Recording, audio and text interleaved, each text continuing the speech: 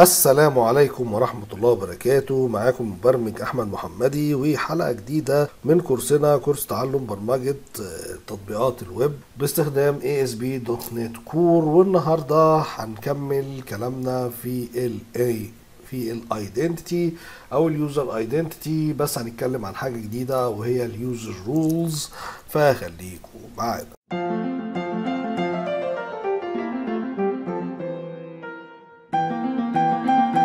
بالتأكيد انت أي system بتشتغل فيه أو بتعمله بتبقى عايز ال user ما يبقاش له full access على كل الأجزاء بتاعة ال system.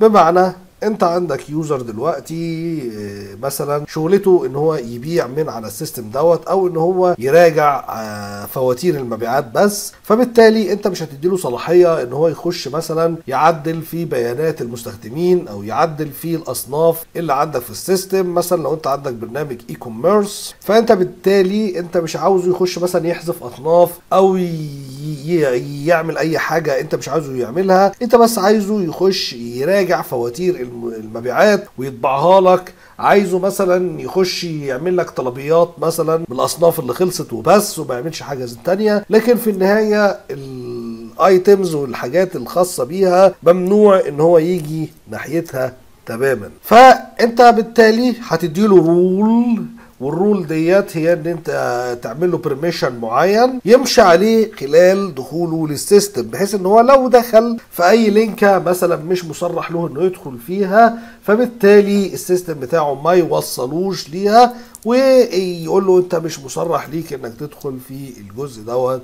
من ال system. الموضوع مش معقد الموضوع بسيط وسهل وهنشوف دلوقتي إحنا هنشتغل فيه إزاي بحيث الموضوع يبقى dynamical ويبقى flexible وهنعمل كمان شوية إيه permission كده ونبدأ إيه نشتغل عليها. تعالوا نشوف الصورة ديت. زي ما أنتم شايفين في الصورة اللي قدامنا ديت في user اهو ماشي؟ اللي اسمه جون ويليامز دوت. المفروض ان هو له access على ال system بتاعنا. فاحنا بنديله role بحيث داخل ال scope بتاعه يبقى معروف هو هيتحرك إزاي بالظبط. يعني مثلا مدين له هنا access analytics هيشوف ال report ات بتاعت ال analytics ماشي؟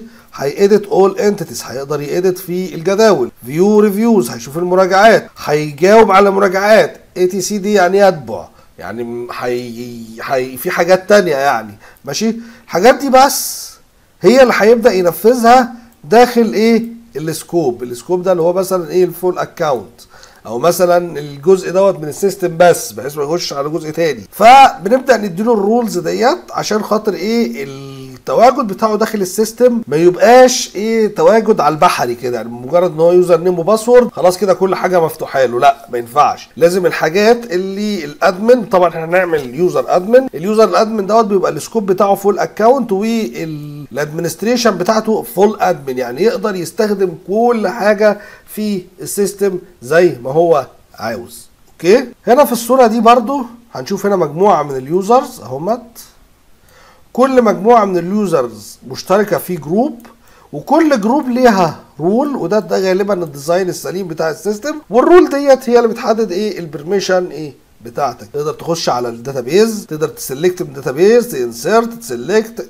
اللي أنت عايزه. بس طبعا ده design مخالف ده خاص بال database إحنا ال design بتاعنا هيبقى خاص بال user interface اللي بيشتغل على ال database لأن إحنا بنشتغل مع ويب بس طبعا الصورة دي هتبقى كاشفة ليك.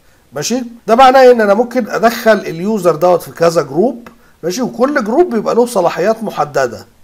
ماشي؟ دي طريقة في ال design لعمل ال user privilege أو ال user roles بحيث إن أنا إيه؟ أعمل مجموعة groups وكل group بيبقى ليها roles معينة. أنا اديت لل user دوت مثلا ال group ديت وال group ديت أصبح إن هو إيه يقدر يخش في صلاحيات الرولز بتاعت الجروب ديت وصلاحيات الرولز بتاعت الجروب ديت. ماشي؟ وكده يبقى أنا إيه قدرت إن أنا أخلي ال user بتاعي يبدأ إن هو إيه زي ما تقول كده إيه يبقى موجود في جزء أكبر من ال system. فإحنا بنضيف حاجة تانية اسمها groups فوق ال roles ماشي؟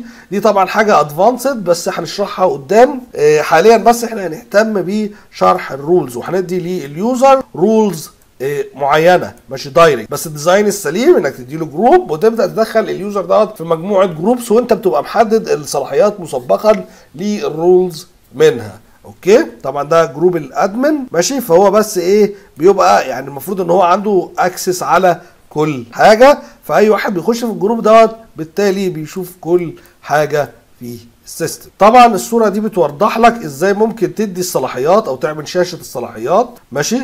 فمثلا هنا عندك هنا user role اهوت فمثلا لو هو admin هتلاقيه مثلا مع الصلاحيات كلها ماشي؟ طبعا هتحط check boxes هنا وتخليه يعلم عليها. لو هو editor دول بس. في بقى ال management channel and user دي مش هيخش فيها. ماشي؟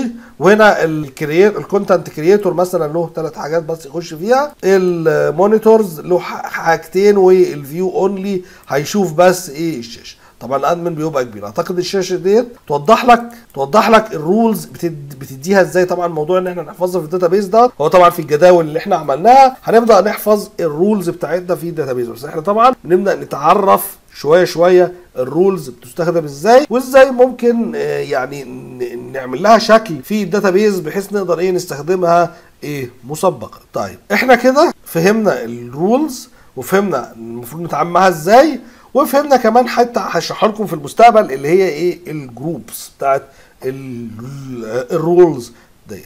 تعالوا نرجع لل system بتاعنا. ولو رحنا لل database آدي ال database بتاعتنا اهي. هنلاقي فيها tables إيه اسمه ASP.NET roles ماشي؟ لو عملنا له مثلا design بحيث نشوف مكوناته إيه.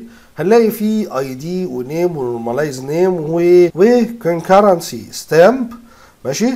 وال concurrency stamp دوت يعني زي ما بتقول كده إيه وظيفته له وظائف كتيرة ممكن تحط فيها تفصيل لل roles بطريقة encrypted حتى هو مدي لك ال length بتاعه max بس يعني إحنا مش هنخش فيه دلوقتي. إحنا دلوقتي عايزين نضيف roles بالشكل البدائي ليها خالص. إحنا دايما اتعودنا في ال course بتاعنا إحنا بنبدأ من تحت خالص. بعد كده الحاجات ال advanced هنبدأ نشرحها بعد كده. أهم حاجة عندي دلوقتي هو ال ID وال name ال ID هنا ال type بتاعه nvarchar فطبعا لما يكون حاطط لك nvarchar في ال type طبعا هو يفضل يبقى حاجة اسمها إيه؟ GUID فال nvarchar 450 دوت مساحة كبيرة قوي تحط فيها ID زي ما أنت عايز. ممكن تستخدم integer عادي بس طبعا مش محبب. فإحنا هنستخدم حاجة اسمها ال GUID وال GUID دوت بيبقى مجموعة أرقام كده بيضاف algorithm معين كده بيبقى هدفه من هو يخلق لك أرقام ما بتتكررش مهما عملت إيه. وعلى الأقل يعني لأن ال algorithm ده له بعض الفلاتات وفعلا في حاجات بتتكرر بس مستحيل تتكرر على مستوى table واحد. يعني ده فوق المستحيل. يعني الأرقام آه بيبقى ليها length وبيبقى ليها نهاية وبتاع وتوصل ليها لكن ال GUID مستحيل يتكرر على مستوى row واحد. مهما حطيت فيه على مستوى قصدي table واحد. مهما حطيت فيه data عمره ما هيتكرر. لكن طبعا ممكن يتكرر مثلا في table مستخدم مثلا في database و table مستخدم في database مثلا في أمريكا. ممكن. ويعني في ناس عملوا test ات كده على بعض ال communities وطلعوا ID أو GUIDs متكررة. بس طبعا اللي فشلوا إن هم يعملوها ولا مايكروسوفت صلحته بشكل كبير جدا إنها تخلي ال GUID سليم على مستوى إيه ال table Okay؟ فإحنا هنستخدم زي ما الكتاب بيقول طبعا لأن ماشي على منهج مايكروسوفت ما بحاولش أحيد عنه ماشي؟ الكتاب بيقول إنك كده تستخدم GUID مع ال users فتعالوا نتعرف إيه على ال GUID okay؟ فهنعتبر إن ال GUID ده unique ID يعني ID ما بيتكررش كتير أو ما بيتكررش خالص unique يعني فريد ماشي؟ وهنبدأ نحطه داخل إيه الجدول بتاعنا ونعمل إيه Roles ماشي؟ طيب أنا عاوز أحط role seed للجدول بتاعي دوت. في كذا طريقة ممكن أعمل بيها ال roles ديت. مثلا ممكن أجي أضيفها هنا في ال App DB context ماشي؟ في ال on model creating ماشي؟ وأبدأ أضيف فيها ال roles بتاعتي ماشي؟ هنيجي هنا. هنقول نستخدم ال model builder بتاعنا. dot entity وهنستخدم الجدول بتاعنا. طبعا الجدول بتاعتنا كلها هتلاقي أولها identity طبعا ده الموديل بتاعنا. أهو identity role ده الجدول بتاعنا اللي هو بتاع ال ASP.NET role ماشي. وهنا هنبدأ نقول له has data dot has data ونبدأ نحط له ال data بتاعته هنا. هنقول مثلا هنا new أهو identity role ونبدأ إيه؟ ندخل ال properties بتاعت ال identity roles هنا. ماشي؟ أول حاجة هنا ال ID زي ما قلت لكم هيبقى هنا نوعه GUID dot new GUID dot to string Okay وهنبدأ نعمل هنا ال name sorry name هيساوي هنا مثلا نسميه ده هنا admin وهنا حاجة حاجة اسمها ال normalized name هنخليه مثلا دوت دايما ال admin بس نخليه مثلا كله سمول يعني small letters مثلا هنا admin وممكن بقى اللي هو آخر حاجة في الجدول اللي هو ال concurrency stamp نحط فيه قيمة ال GUID عادي. أهو هي نفسها قيمة إيه؟ ال GUID بتاعنا ده عادي. Okay. وهنا نقفل إيه ال role بتاعتنا. دي كده أنا ضفت admin role ونضيف ممكن نضيف role كمان. ماشي؟ C V ونسمي مثلا ال role دي user okay؟ ماشي؟ وممكن أضيف بقى اللي أنا عايزه بقى roles كتيرة زي ما أنا عايز مثلا كاشير آه مثلا reviewer آه data analysis أي حاجة roles زي ما أنا عايز بس دي seeds يعني المفروض إنها هتبدأ مع ال system بحيث إن أنا إيه لما أكون ببدأ ال system ببدأ أديله إيه آه roles عادية خالص. Okay؟ طيب تعالوا بقى نعمل migration فهنعمل هنا build الأول وبعد كده هنروح على ال tools package manage console وهنعمل بقى هنا add migration ونبدأ نسميها إيه مثلا إيه okay أهو عمل لك ال data أهوت create لك ال data. حط لك roles أهوت في ال ASP.NET roles الجدول بتاعنا. ماشي؟ وهنا ID concurrency stamp و name و normalized name. أهو ضافهم أهوت. ماشي؟ وال down بيمسحهم بايه ال key value إيه بتاعتهم. ماشي؟